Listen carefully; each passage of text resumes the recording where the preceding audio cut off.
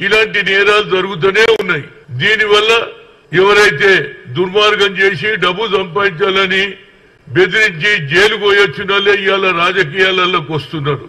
ఇవాళ చూస్తున్న లిస్ట్లో ఎంతో మంది కోర్టుల కేసు ఉన్నోళ్ళు క్రిమినల్స్ కూడా ఈనాడు పార్లమెంట్లో నిలబడుతున్నారు. మాట వరుసకు మీకు చెప్పండి. నయం కేసు ఏమైంది ఇప్పటిదానికో చెప్- ఎవరైనా చెప్పగలుగుతారా? నయం డబ్బు ఏమైందో చెప్పగలుగుతారా? నయం రాసినటువంటి డైరీ ఏమైందని నేను అడుగుతున్నా. అంతేందుకండి హాజా హాజీపూర్లో ఏది నాకు తెలిసినంత మటుకు నాలుగైదు నాలుగేండ్ల క్రితం అక్కడ ఉన్నటువంటి సోదరిమణులు పిల్లలు చిన్నవాళ్ళు పన్నెండేండ్లు పదిహేండ్లు ఉన్న వాళ్ళను స్కూటర్ మీద తీసుకుపోవడం రేప్ చేయడం సబ్బేయడం బయలుదేయడం దానికి ముఖ్యంగా మహేష్ భాగవత్ మహేష్ భాగవత్ కమిషనర్గా రాజకుండా చాలా గట్టిగా ప్రయత్నం చేసి సిక్స్త్ ఫిబ్రవరి ట్వంటీ ట్వంటీలో పనిష్మెంట్ ఇచ్చిండు.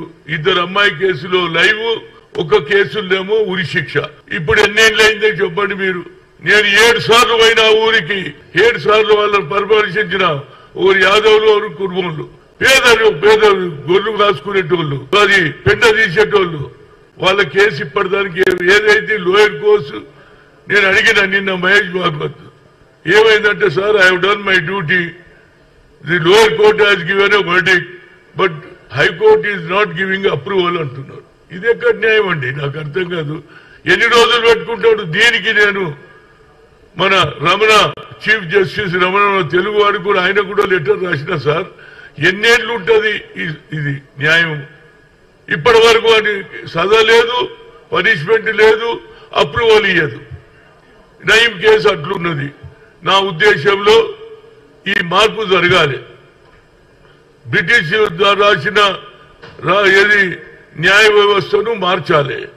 ఇవాళ మూడు చట్టాలు తెస్తున్నారు. చాలా మంచి చట్టాలు అది. అందరికీ కూడా తొందరగా నా కేసు చెప్తా. నేను టూ థౌజండ్ నైన్టీన్లో బాబాసాహెబ్ అంబేద్కర్ స్టాచ్యూ వీళ్ళే కూడా కొట్టిండ్రు దాని మీద కేసు ఏమైందో తెలియదు. కొత్తది నేను తెచ్చి పెడితే దాన్ని కూడా ఎత్తుకుపోయి ఇవ్వాలంటే దానికో కూడా ఏది గోషామైల్ పోలీస్ స్టేషన్ ఉంది ఏమిటి దీనికి? దానికి నేను తిరగంగా తిరగంగా మా మీద పద్దెనిమిది మంది తొమ్మిది పద్దెనిమిది మంది మీద కేసు పెడితే లాస్ట్ లా ఏమి ఇచ్చిండ్రు లాస్ట్ లా నాకు ఆ విగ్రహం అయితే ఏది పంజాగుట్ట పోలీసు హనుమంతరావుకు హ్యాండ్ ఓవర్ చేయమన్నారు కానీ మేము పద్దెనిమిది మంది ఇయ్యాల కూడా కోర్టుకు పోతున్నాము. మళ్ళీ వచ్చే రెండు నెలల్లో మళ్ళీ ఒక కేసు అదే అదే కేసు. ఇప్పటి వరకు పద్దెనిమిది మంది పోవడం దాని తర్వాత వాయిదా. నేను ఒక హిందీ సినిమా చూసిన తారీఖ్ పే తారీఖ్ తారీఖ్ పే తారీఖ్. అంటే కోర్టు తారీఖులే ఇస్తుంది వాయిదాలే వేస్తుంటది. జల్దీ ఎందుకు స్టేట్ సెటిల్మెంట్ చేయరు? ఇక భూమి తగాదాలు అయితే దేవుడే తెరవాలి. పుస్తకాలు అమ్ముకుంటున్నారు ఇండ్లు అమ్ముకుంటున్నారు కానీ నెరవేర్చేది లేదు. ఎందుకు? ఈ చట్టాలు ఇంత ఉండి మరి పక్క దేశమైనటువంటి మరి ఆ రాష్ట్రాలలో దుబాయ్ అటువంటి ప్రాంతాలలో ఒక నేరం జరగదేది? నేరం జరిగితే ఏడో మనం బ్యాగ్ పెట్టిపోతే అక్కడనే ఉంటది. మన దగ్గర నేరాలు ఎందుకు పెరుగుతున్నది? ఎందుకు చంపడం జరిగింది భార్యను చంపిండని ఒకటి చెల్లెలను చంపిండని ఒకటి అందం చంపినట్టు ఒకటి. ఎందుకు తొందరగా మీరు న్యాయం చేయరు అనేది నా ఉద్దేశం. ఎప్పటి వరకు అయితే ఈ న్యాయం ప్రజలలో నమ్మిక పోతున్నది ఎందుకంటే నేరాలు పెరుగుతున్నాయి. ఇంకా బ్రిటిష్ చట్టం తీసేయండి. ఇవాళ ప్రజలలో వాతావరణం వేరింది. జనాభా తక్కువ ఉండేప్పుడు ఇవాళ జనాభా కూడా పెరిగింది. కనుక తప్పనిసరిగా ఆ డబ్బు ఏమైనట్టు? నయం డబ్బు ఎవరికి పోయింది? ప్రభుత్వానికి పోయిందా? పోలీసు వాళ్ళు తీసుకున్నారా? ఆఖరుకు ఆ భూములు ఎవరైతే దాక్కున్నాడో ఆ భూములు వాళ్ళు ఇప్పటి కూడా తిరుగుతూనే ఉన్నారు. కనుక ఈ చట్టాలు మార్చాలి. చట్టాలు మూడు చట్టాలు మారుస్తూ మంచిదే. ఎప్పటికప్పుడు కేసును బట్టి చట్టాలలో కూడా మార్పు వస్తే ఇప్పుడు మన నర్మదా ఇష్యూలో చూడండి ఇరవై మూడేళ్ళు పట్టింది. నర్మదా నది మీద పోతున్నటువంటి భూములు తీసుకుంటున్నారని ఆమె రైతుల పక్షాన కొట్లాడితే ఇరవై మూడేళ్ళు పడుతుందా? ఆఖరుకు నెగటివ్ వచ్చింది ఆమె ఇక్కడ వాళ్ళు హైకోర్టు సుప్రీంకోర్టు వాళ్ళంటే ఎప్పుడు తగ్గుతుంది? మనం పూర్తి జీవితం అంతా ఇడ్లు అమ్ముకోవాలి సొమ్ములు అమ్ముకోవాలి. కానీ వాయిదా వాయిదా నా కేసు కూడా వాయిదా వాయిదా. మా ప్రభుత్వం వచ్చింది నేను కేసు మన రేవంత్ రెడ్డి గారిని అడుగుతున్నా. ఇవి కావాలని పెట్టుకునే కేసులు కాదు. బాబాసాహెబ్ అంబేద్కర్ రాజ్యాంగం రాసిండు. ఆయన తుణుక తుణుక చేసిండ్రు. ఒక రోజు ముందు ఆయన ఫోర్టీన్త్ ఏప్రిల్ అంటే పదమూడు పన్ను పదమూడు పొద్దున చేసిండ్రు. దానికి కూడా ఇన్ని రోజులు పడితే ఎట్లా చెప్పండి? నేను అనేది ఇదే కాదు. దీనికి ఒక నా ఆలోచన ఉంది. ఎవరన్నా ఏమన్నా అనుకుని.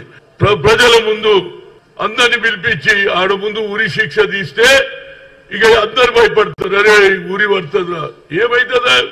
కోర్టులో జైల్లో పోతే జైల్లో మంచి తిండి దొరుకుతుంది.